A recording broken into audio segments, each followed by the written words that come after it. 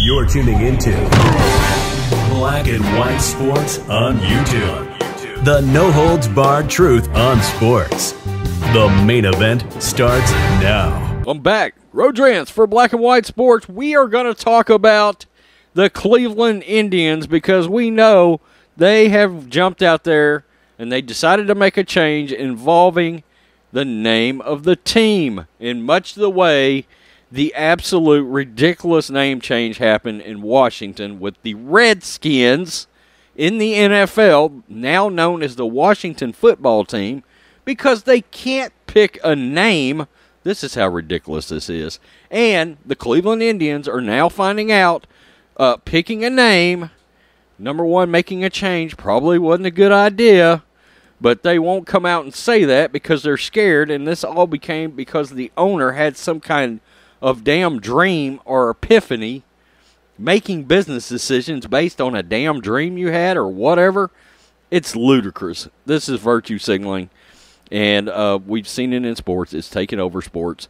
And here we are again. Look if you've got a team that's got a native american name they're going to come after it. They're going to come after it. Chiefs they, I'll give the Atlanta Braves a lot of credit. The Braves came out and said, We're not changing the damn name. And that's what the Indians should have done. Of course, they went after Chief Wahoo, one of the greatest logos we have ever seen in sports. Of course, it was in the major league movies. I mean, that Chief Wahoo logo is great. And you would be shocked. Look, we're a conservative leaning sports channel. And the fact is, we have a massive Native American viewership on this channel. We always have. We always have on all of our channels, right? Um, so, and they agree. They agree. It's ridiculous. In fact, a lot of them feel it's offensive for them to change the name. Okay? Make sure you go over, check out that good old blackandwhitenetwork.com. Memberships are available, three different levels exclusive content. We made a video yesterday, uh, joint video with myself and Matrix. It was over 40 minutes long. Um, we are really hammering out the content over there now, and very soon there will be written articles going up on that as well. So we've got a lot of irons in the fire. Let's get to this story because the Indians look like idiots. Cleveland Indians name change quote, more complex than previously thought, team official says. Team decided to make a change at the height of racial tension in the U.S. last year, and now they've got themselves in a bind. The Cleveland Indians announced last summer at the height of racial tensions in the U.S. they would change their name as pro teams across the sports began to drop Native American monikers. Absolutely ludicrous.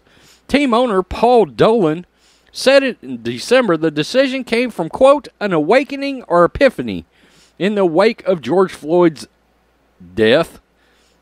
But the team's president of baseball operations, Chris Antonetti, said Sunday the process hasn't been easy. Good. It's what you deserve. Quote, I have come to understand just how complex that process is. Antonetti told reporters via 92.3 The Fan in Cleveland. It's taken an extraordinary amount of work from people throughout the organization to help us move that forward. He said the team is now narrowed down the list. Dumbasses.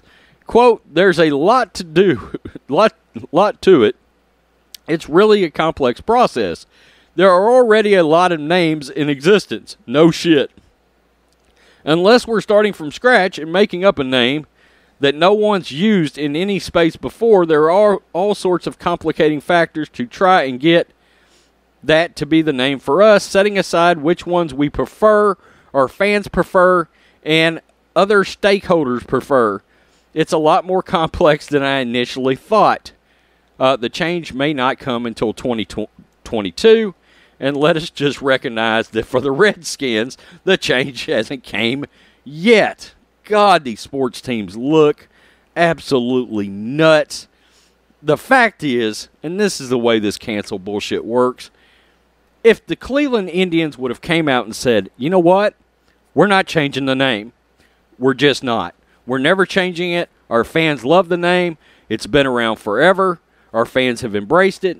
Many members in the Native American community support the name. The Denver Post did a poll about, I believe it was 2016, and roughly two thirds more, 70% ish, of Native Americans came out that voted and said they have absolutely no issues with team names that have uh, Native American ties to it. The Seminoles, right? Florida State, the Chiefs, the Braves, the Indians, all these, and of course the social justice warriors. And let's just be honest, people that don't freaking care or watch it, sports are, are acting like they're offended. That's what they do, particularly on Twitter. And they come after the names. This guy says he had a, a damn epiphany and decided to make a major business decision on the fact that you had this random epiphany about the name. I've done these Indian videos before. That is a strong, vibrant, really, really passionate fan base. They love the Indians. They love the name. They love Chief Wahoo. And you're shitting on them. You're shitting on all those fans. And they should be pissed. They are pissed. And um, look, if they'd just come out and said, we're not doing it. We're not doing it. We're not changing it. Forget it. It goes away. It goes away. Would it come back around? Sure. You push back again and you keep moving on with life. That's that's what this cancel culture bullshit is about. Nobody will push back. Somebody's got to push back. At some point, some sports team has to push back. Again, I admire the fact that the Atlanta Braves just come right out and said, we're not changing the name. We're not changing the name. Uh, now, we'll see if they hold to that, but that's what they're saying. And I wish the Indians, man, it was a great logo. I wish they would have followed suit on this because here they are. They look like idiots. They can't come together with a name. They found out that every name under the sun is already taken, and now they're in a bind. The Cleveland baseball team. That's where you're headed right now. The Cleveland baseball team. Peace. I'm out. Till next time. Thanks for watching the show. Be sure to like, comment, and subscribe. Be sure to tune in next time on Black and White Sports.